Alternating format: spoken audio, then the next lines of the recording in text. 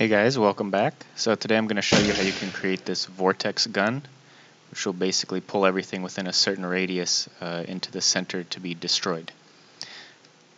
Alright, so the first thing we're going to need to do is create a few blueprints. So we'll just right click here in the content browser and we'll go to blueprints here and we're going to create a blueprint interface. We can just call this vortex. Then we're going to right click and we'll create a couple blueprint classes. First one we're going to do is an actor and we will call this vortex generator. And then we'll right click again, create another blueprint class actor and we'll call this vortex debris. So if we open up our interface here, we're just going to call this function vortex and we'll give it a couple inputs and one output which we will just call success. The first input we want is a vortex center and we'll make this a vector and then we're going to want to get vortex reference and we'll make this of type vortex generator here, object reference. So we can hit compile and save. That's all we need to do in the interface. And we can open up our vortex generator here. We'll just add a component, a sphere. And we'll give this a green color. And then we'll add another component, sphere collision make sure this is as big as you guys want the effective radius to be so just make it something large like 30 by 30 and the final thing we'll add is a projectile movement. And we'll just give this an initial speed of a thousand. And we'll turn gravity off. Can compile and save that. Then if we minimize, we go into our vortex debris here. I'm going to also add a sphere to this. And we will make this a red color. Then we can go to our event graph. And what we're going to want to do is create a custom node And we can call this vortex death. And we're going to want to go to the class settings here. And over here on the right side panel, interfaces, we're going to want to add our vortex interface here. And we can double click on this. And right off of here, we're going to call our custom event the vortex death. And this we're going to need to give a couple inputs to. The first one will be the vortex center, and that will be a vector. And the second one will be a vortex reference, and we'll look for vortex generator object reference here. So we can compile that. And then we're just going to hook these two up like this in the interface. So we can compile and save that. And if we go into our vortex generator, go to the event graph, can delete all of this stuff here, and we just want to get this sphere collision, and we'll scroll down and do on component begin overlap, and we'll just check does implement interface, and we'll look for our vortex interface here.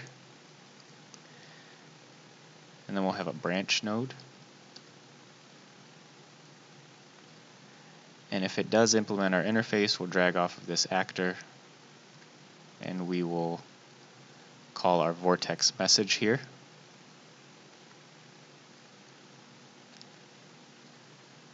And for the vortex reference, we'll get a reference to self.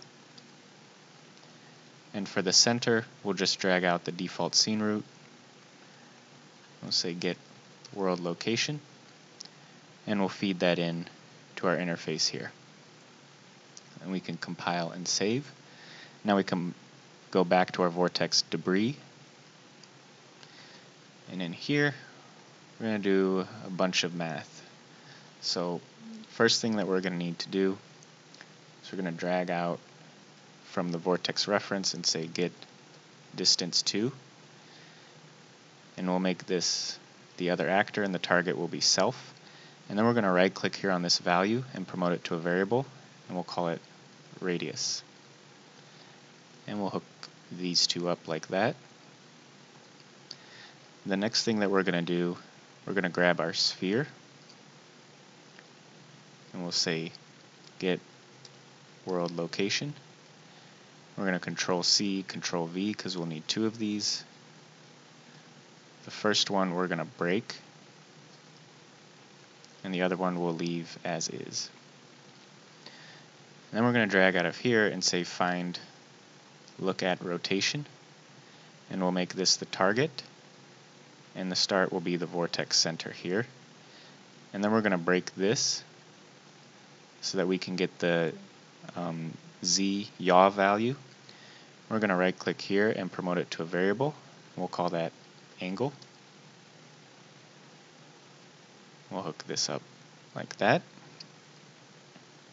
And the other thing we're going to need to save is the z value of the world location here. So we'll right click, promote this to a variable, and we'll call this z axis. We'll stick that in here. And then we're going to drag out and we're going to make a timeline. And we can call this swirl. And we'll make this play from start.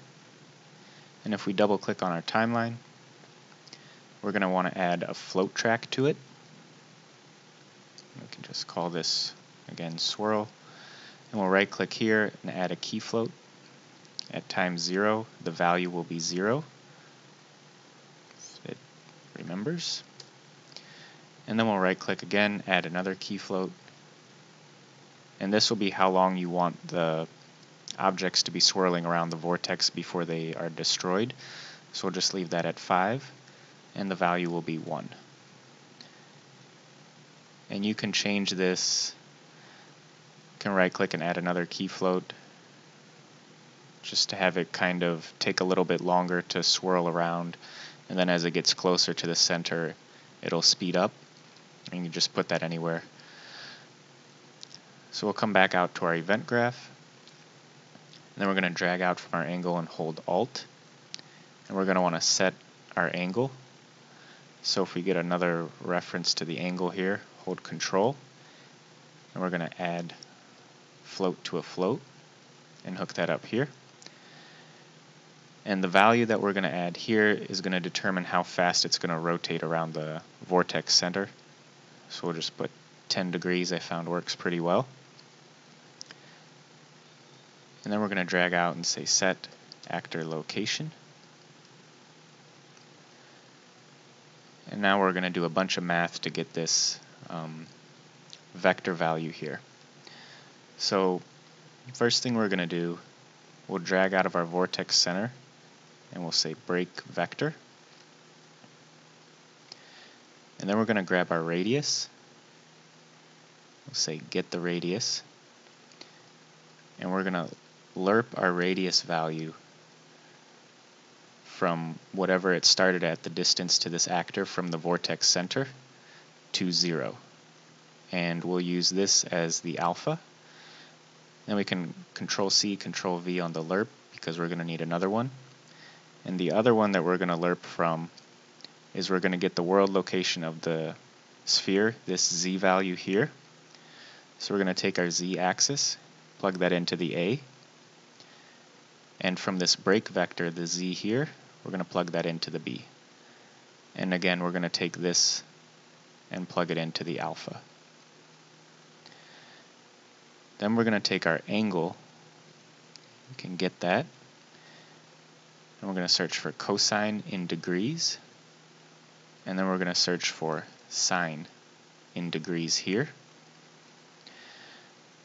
And we're going to take out of this lerp and look for multiply float. And then after that, we're going to search for add float. And we can copy these two, Control C, Control V. And we'll plug this in here.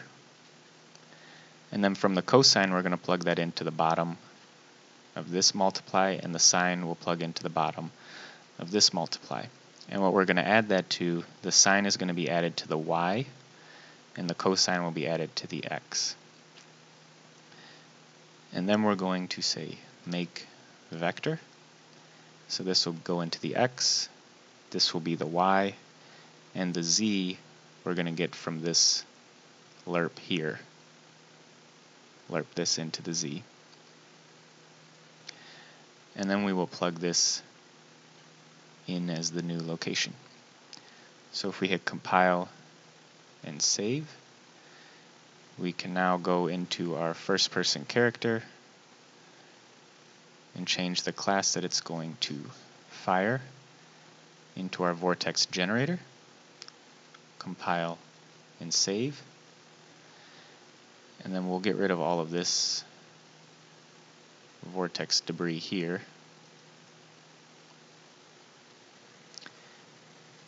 And we'll add in a few of these that we just created.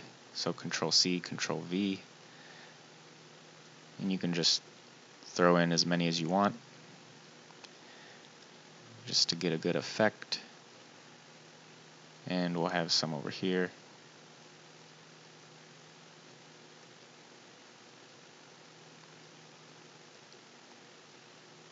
Okay, and then we'll hit play and we'll fire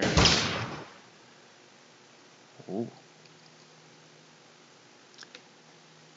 Forgot to do one thing.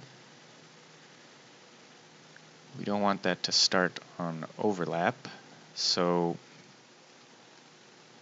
for our vortex generator, we'll go into there, we'll say begin play, and we're going to have a delay We'll give it about 1.5 seconds.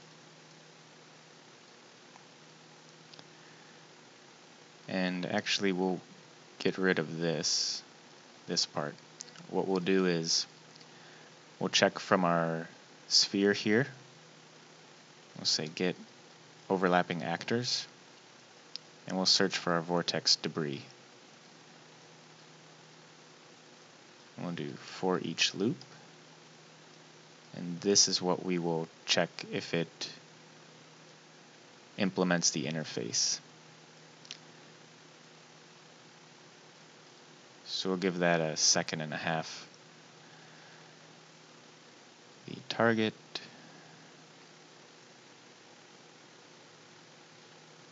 Oh, and this needs to go here.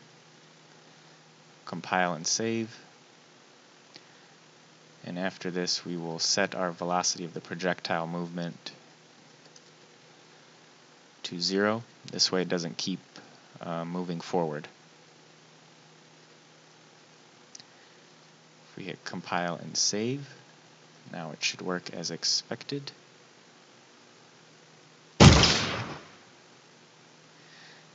And there you have it. Created a vortex and it destroys all the actors. Well, I put that in there, would destroy them